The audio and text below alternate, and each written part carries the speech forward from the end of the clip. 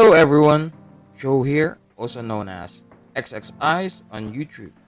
Today, I will show you how you can record yourself while presenting your PowerPoint slides using this software called OBS. Let's check it out. As you can see, I am currently presenting one of Simple Slide's amazing templates called Creative Mind. And while doing so, I have a tiny webcam video of me on the upper left corner of the screen that plays along with the presentation.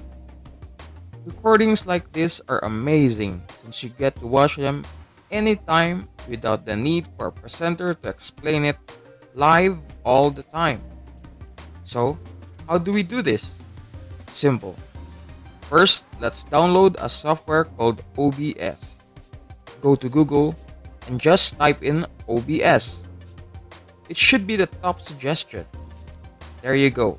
OBS, which stands for Open Broadcaster Software. Just open this link and it will redirect you to their website where you are given these three options. Select one depending on what kind of computer you own. I have Windows, so I select this one. Now, I've already downloaded the installer beforehand, so let's skip ahead and open the file from my downloads folder. Here it is. It's labeled the OBS Studio Full Installer.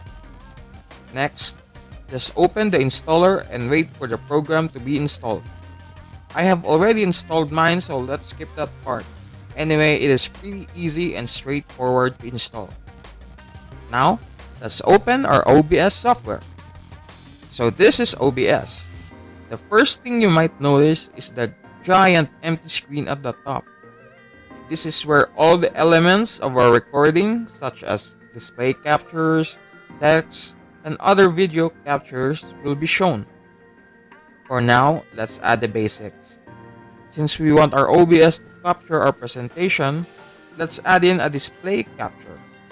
Simply right click on the empty screen, select add and from the options, just choose Display Capture. Feel free to rename this source and once done, just click on OK.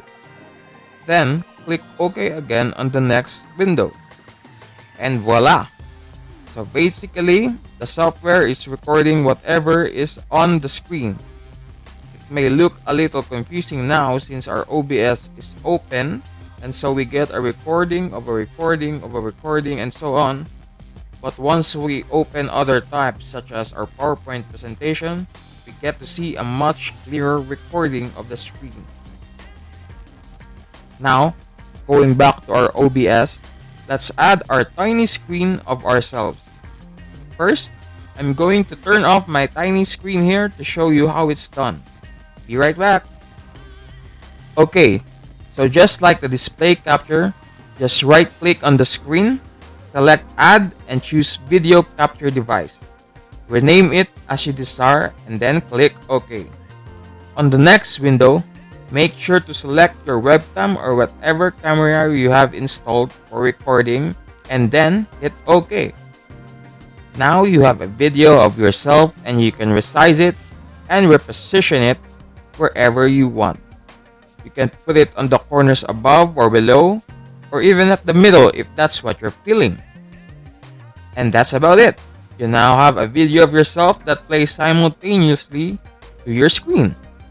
You can use this in a lot of fun ways besides presenting your slides. You can open up a video file from your computer or online and have yourself present or react to the video.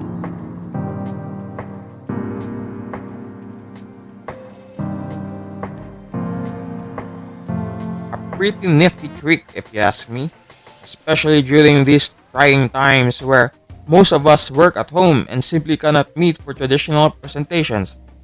Also great if you're doing tutorials such as this. Anyway, that's all for me now. Thank you for tuning in.